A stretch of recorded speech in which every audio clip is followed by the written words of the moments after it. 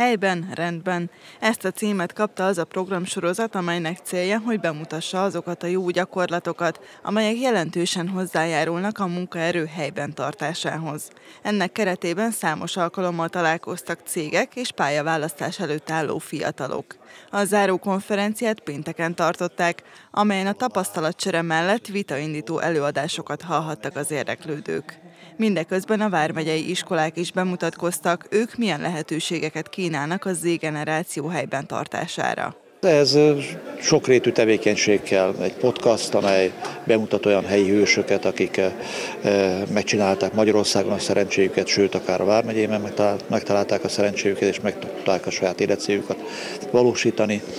Kell hogy hozzá olyan találkozás, amikről beszéltem, hogy ipari üzemeket látogattunk meg, ott elmondtuk a lehetőségeket, akár a kereseti lehetőségeket is a résztvevő fiataloknak, szakképző intézmények fiataljainak, és kellene egy ilyen záró konferencia is, amelyen a további lehetőségeket vizsgáljuk meg.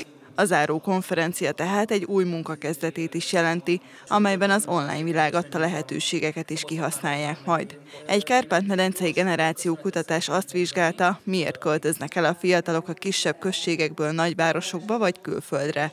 Ennek eredménye, hogy sokan még mindig úgy gondolják, el kell vándorolni ahhoz, hogy boldogulni tudjanak. Ezt egy podcast sorozatban is igyekeztek megcáfolni.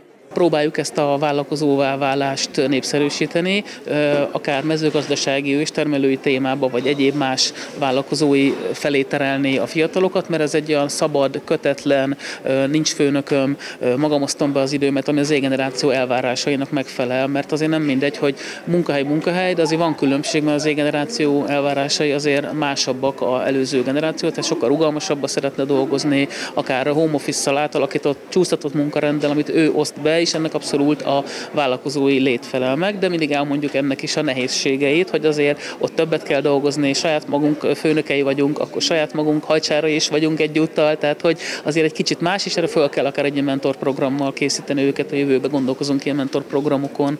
Ez nem csak a munkaerőpiaci elhelyezkedésüket segíteni, hanem a szakmai fejlődést is támogatná.